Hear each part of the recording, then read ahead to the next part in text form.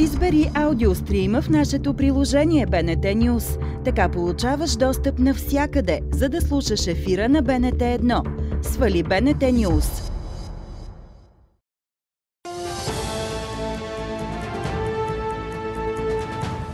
Почина легендата на българската рок-музика Кирил Маричков.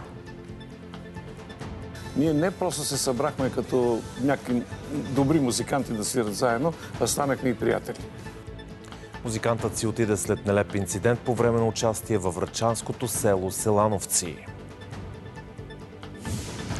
Двама души от Министерството на културата са замесени в така наречената театрална афера.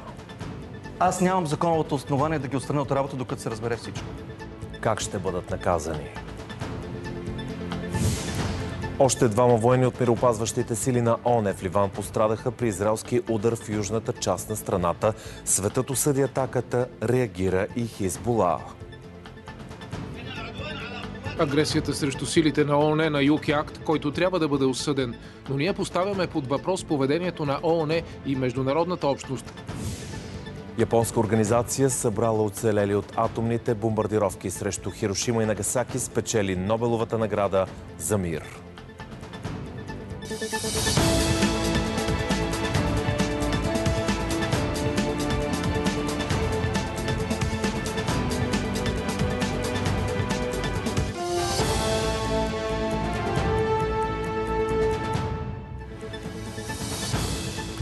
11 октомври вие сте с късната емисия по света и у нас. Аз съм Ангел Бончев.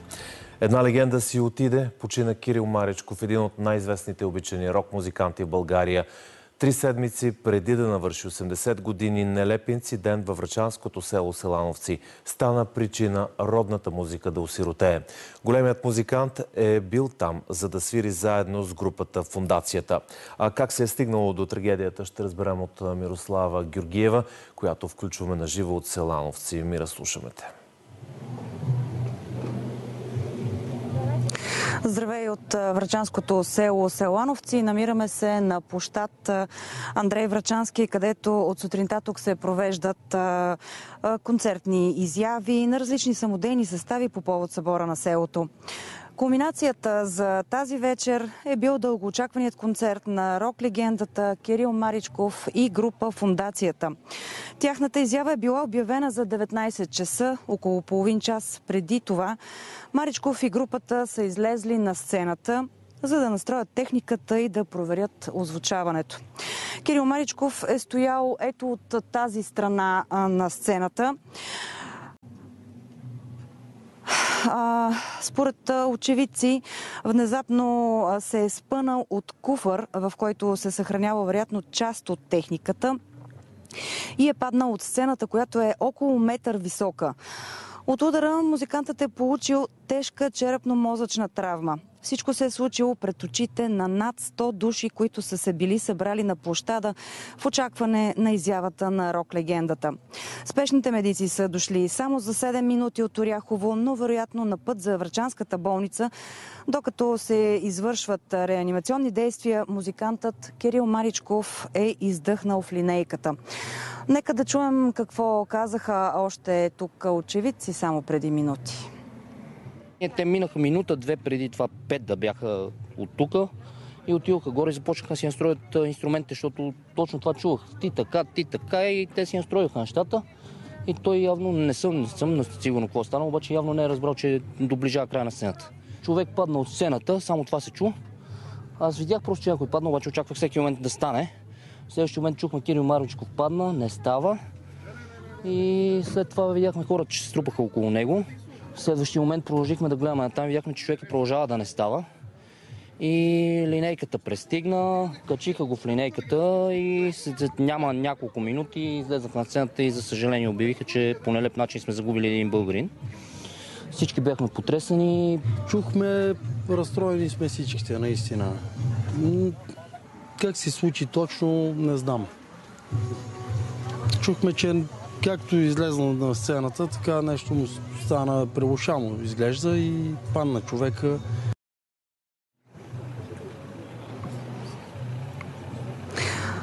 Кажем, че тук на площада е все още оживено, а хората са потресени от случилото се. Заради голямата трагедия в селото са отменени всички тържества, които са били предвидени до неделя включително. Образувано е по случая до съдебно производство, а аутопсия се очаква да даде отговор дали падането от сцената на музиканта Кирил Маричков е причинил смъртта му.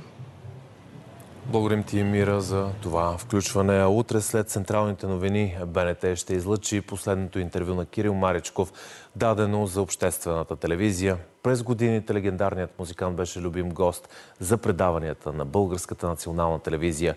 Човек епоха с богат жизнен опит и не събрана мъдрост. Ирина Цонева разказва още за патриарха на българската рок-музика. Първите стъпки на Кирил Маричков на музикалното поприще са с рок-формацията Бандараците. Там свири на бас-китара през 1967 заедно с барабаниста Петър Цанков основават група Штурците. В списъка на създадените от него песни са хитове като Рок в минало време, Клетва, Вкусът на времето, Вълшебен цвят. След края на активната си творческа дейност на Штурците, Маричков се отдава на солови проекти – Първият му самостоятелен опит е саундтрака на култовия филм «Вчера». По-късно издава и два солови албума. За един от тях, заглавен 75, разказва в Денят започва с Георги Любанов. Мене много ми харесва. Албума се нарича 75, защото когато го направих бях на 75 години. Както и да е, взех, че казах на една журналистка тогава, като излезе албума, аз се вдъхнових от Адел. Защото нейният първи албум се казваше 19, втория се казваше 25, 21, третия се казваше 25, аз пък реших моя да го кръста 75. Тя някакси така го написа във вестника, че не се усети чувството за хумор и излезе както и да е. Това е много опасно. Аз затова гледам, когато участвам някъде да участвам на живо, защото тогава се разбира точно какво искам да кажа. Някой път, ако тя, например, не сложи в скоби, смее се, не, се, не е ясно има ли не, е ясно, ирония или няма. Има ли ирония или да. няма, да. От 2013 той е член на супергрупата Фундацията. За работата си в нея и многобройните турнета Маричков разказва заедно с колегата си Иван Лечев в едно от последните си интервюта за БНТ миналата година. Наистина, как минаха 10 години, просто не ми се вярва, но това е едно доказателство, че наистина този проект в фундацията се оказа много успешен. И той се оказа много успешен най-главно, защото ние не просто се събрахме като някакви добри музиканти да свират заедно, а станахме и приятели. А штурците, с които Кирил Маречков се превърна в една от най-големите звезди на българския рок, са сред родните групи, които спокойно могат да претендират за титлата най-влиятелна българска рок група на 20 век. Come se попадне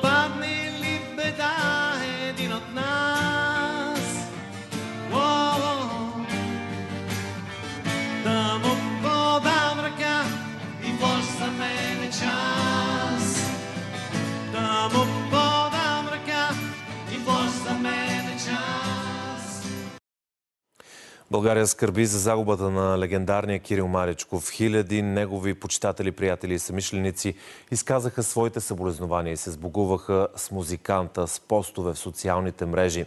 Президентът Румен Радев написа, че в лицето на Кирил Маричков българската сцена е изгубила легенда, рокаджия в сърцето и аристократ по душа. Той и штурците допренесоха за модерното звучение на българската музика, а като човек вдъхваше надежда, че музиката ни прави по-добри. Светла памет допълва още държавният глава. От Министерския съвет също опубликуваха снимка на музиканта и написаха Бунтар и свободен човек Кирил Маречков спечели сърцата на поколения почитатели, остава загинаги с нас чрез песните си. От Министерството на културата също изказаха съболезнования, като публикуваха текста на песента Най-важното и допълват Кирил Маричков бе просто човек с главно Ч, който правеше вкуса на времето по-малко солен и за всички около себе си.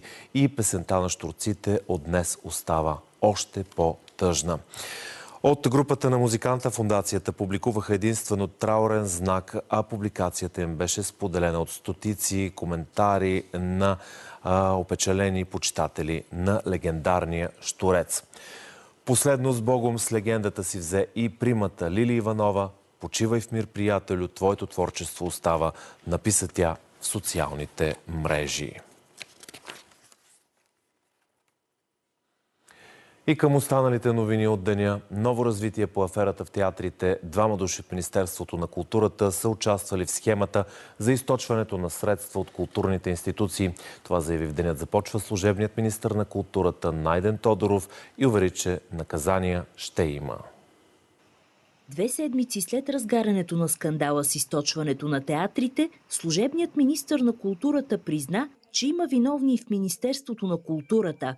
Без подкрепа може да стане, но без а, а, човек в Министерство на културата не може. А, това, което се опитвам да кажа, че системата за финансиране а, и по-точно СЕБРА, всеки знае в сектора, а, изисква човек от Министерство да потвърждава плащането. Знаем кой е, знаем, че не е един. В, на каква длъжност е? Нека първо да се види, че защо се е случило всичко и аз съм убеден, че всичко ще излезе. Проверките ще установят дали и двамата са действали с умисъл. Аз нямам законовото основание да ги отстраня от работа, докато се разбере всичко. Те са си на работните места ли ни казват? В момента един от тях е в отпуск. Понеже два пъти споменахме, финансовия директор, той, да, тя, нали, Е в отпуск. е в отпуск от кога? От, ня... от вчера. Защо? По лични причини. Именно финансовият директор е наредил спирането на плащанията по системата, след като източването на средства излезе наяве. От вчера те са размразени. Вчера специално резолирах, че трябва спешно да започнат отново а, с театри, които са в рамките на своите лимити да текат свободно плащанията, паралелно с проверките. Театри, които са извън лимитите си, с допълнителна проверка от дирекцията, която отговаря за сценичните изкуства. По телефона финансовият директор на Министерството на културата Диана Арнаудова обясни, че отпуската и не е свързана с размразяването на плащанията във вчерашния ден, а е планирана преди месец. Повтори обяснението, което е дала и пред министъра.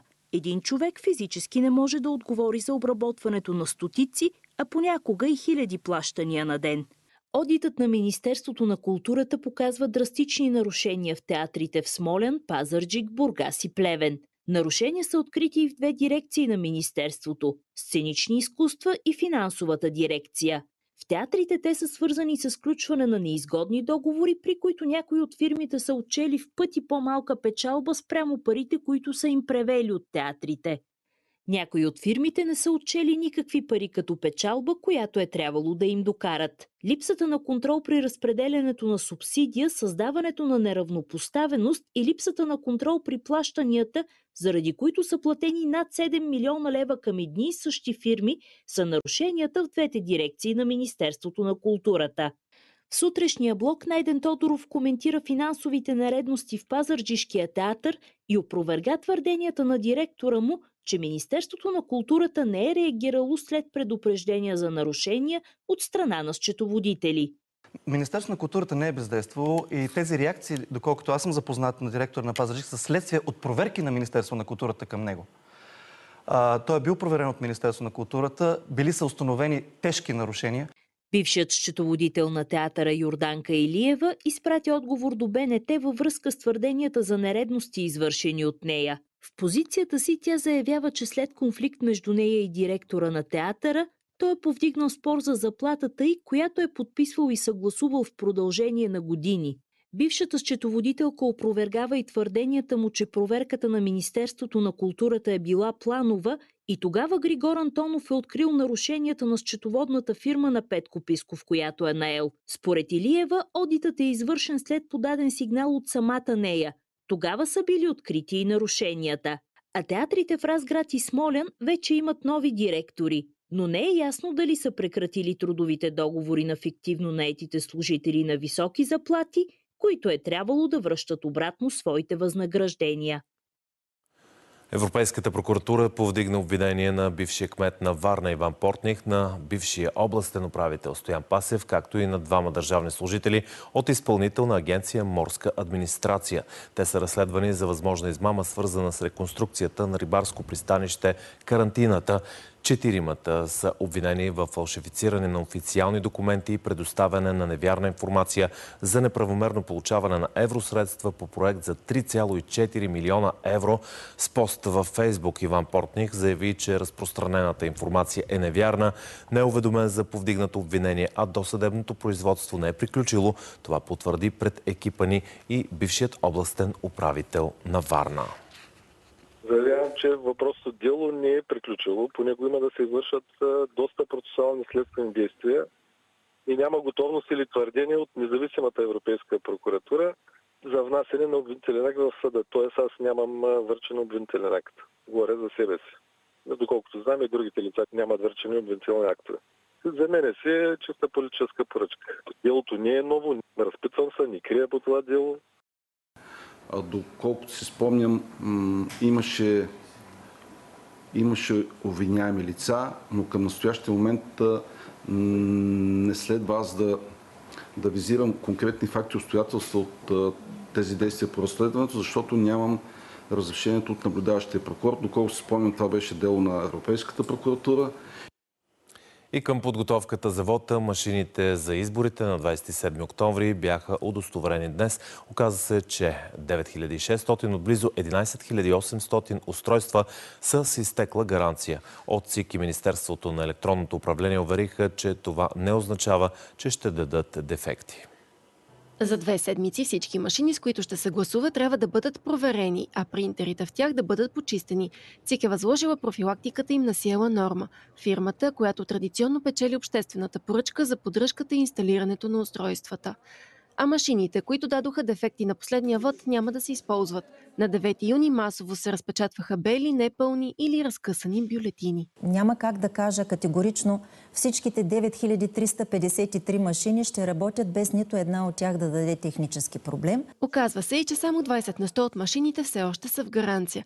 Разликата е, че поддръжката им в гаранция е безплатна, а после се плаща. По-голямата част машини, 9600, са доставени в началото на 2021 година. Гаранционният срок беше 3 годишен. Дори да е изтекал гаранционния срок, това не означава, че машините не могат да работят. Може би и във вашето студио съм чувала изпълнителният директор на Сиела Норма да казва, че машините могат да работят 50 години.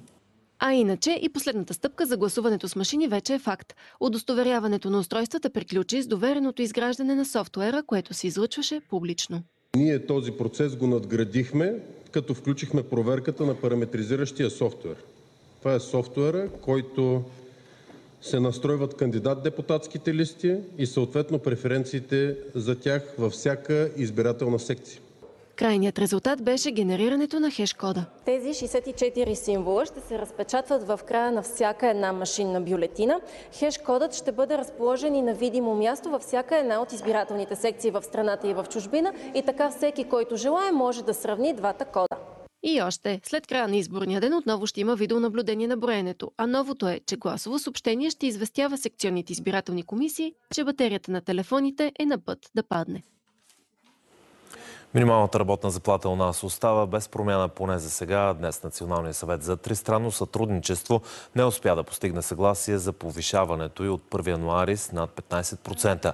Срещу предложението на синдикатите се обявиха от работодателските организации, които твърдят, че исканото увеличение е невъзможно за изпълнение от бизнеса. Синдикалистите заявиха, че то е повече от необходимо и неизпълнението му представлява нарушение на закона. На ход е служебният кабинет, който може и само самостоятелно да гласува увеличението. От света още двама военни от мироопазващите сили на Организацията на Обединените нации в Ливан са пострадали при втория за 48 часа израелски удар срещу международната база в южната част на страната. Така пострадалите вече са четирима. Израел заяви, че миротворците са ранени при отговор на непосредствена заплаха, международната общност определи действията на Израел като нарушение на международното право. В общо изявление тази вечер Франция, Италия и Испания заявиха, че подобни нападения са, цитирам, неоправдани и трябва незабавно да бъдат прекратени. Издирването на оцелели след двата израелски удара по жилищен квартал в центъра на ливанската столица Байрут продължава. Жертвите на атаката към момента са 22-ма, ранените близо 120. Според Хизбола битката с Израел едва сега започва. Това е резултатът от най-смъртоносната израелска атака срещу Бейрут от началото на размяната на удари между Телавив и шиитската групировка Хизбола, започнала преди повече от година. Поразен е гъсто населен жилищен квартал в центъра на ливанската столица и за разлика от други нападения, Телавив не е предупредил за удара. Чухме първата експлозия и помислихме, че е ударена нашата къща. Последва втора, още по-мощна. Хората се разбягаха панически, кой както беше, боси, по пижами, всичко наоколо беше в натрушени стъкла. А когато видяхме какви са щетите, думата беше само една – кошмар. По непотвърдена информация, мишена на Израел е бил поредният виш командир на Хизбола. Данните са противоречиви, или че е тежко ранен, или че не е сред жертвите. Според ливанския премьер на Джип Микати, всички загинали при атаката са цивилни. Той призова за незабавно примирие. Въпреки усилията, които положихме в арабския свят и на международната сцена, не успяхме да предотвратим немислимото да се случи. Израелската война в Ливан продължава и ескалира с покушения, убийства, разрушения, въздушни атаки и сухопътна операция. И сякаш сме оставени на съдбата и ни е забранено да защитаваме правата си, земята си и достоинството си. Ливанският премьер остро осъди израелската стрелба по мироопазващите сили на ООН в Южен Ливан, при което бяха ранени двама индонезийски войници.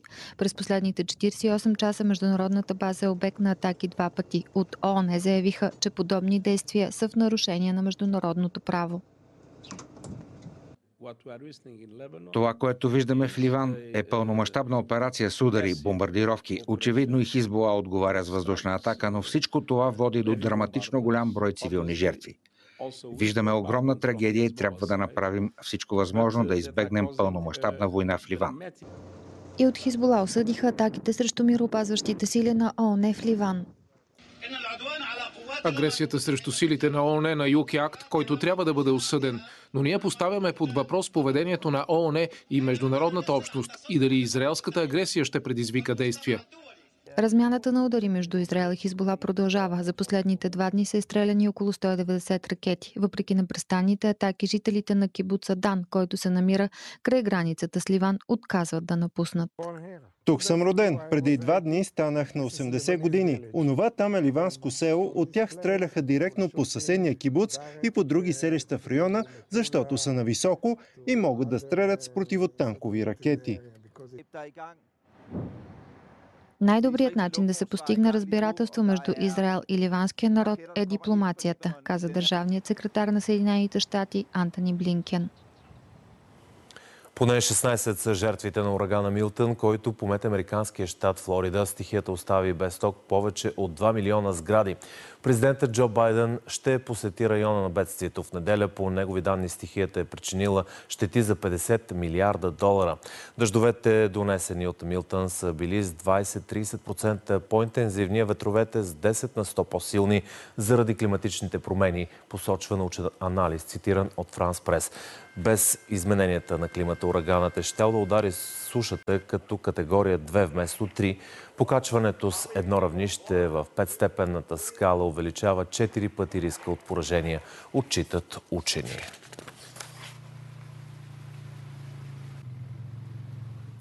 Японската организация Нихон Хиданкьо, в която влизат оцелели от атомните бомбардировки срещу Хирошима и Накасаки, спечели днес Нобеловата награда за мир.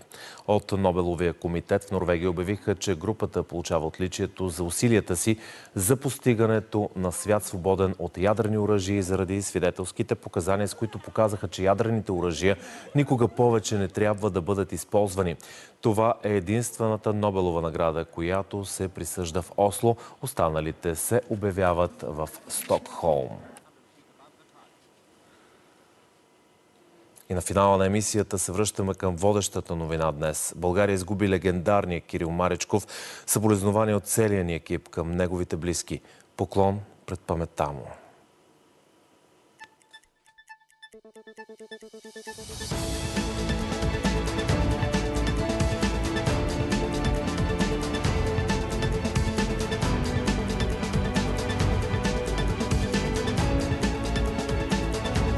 Избери в БНТ News за кои новини да получаваш нотификация и колко често. И всички важни известия вече са събрани на едно място, за да ги прочетеш в удобно за теб време. Свали БНТ News.